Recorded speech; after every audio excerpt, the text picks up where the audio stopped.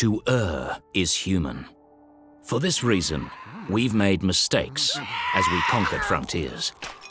And with skies beckoning, we tried and tried to fly, but physics wasn't on our side. Then, with a little bit of hot air, we finally beat gravity and powered right into the wild blue yonder. And it wasn't long before we slipped into the First World War.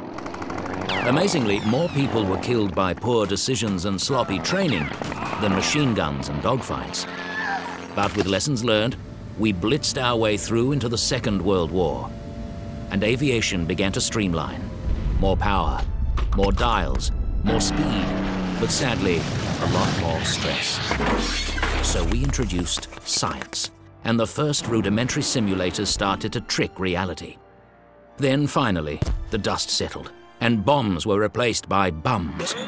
And we soared passengers into the jet age. Pilots went from heroic risk takers to wearing gold bars and wrangling with computers.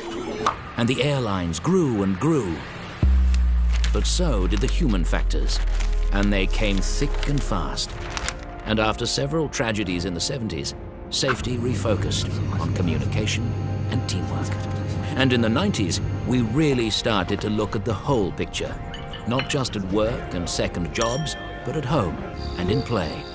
So now we recognize that human error can occur anywhere, anytime, in any system. So as we build our knowledge of human behavior, we'll continue to boldly go where we've never been before.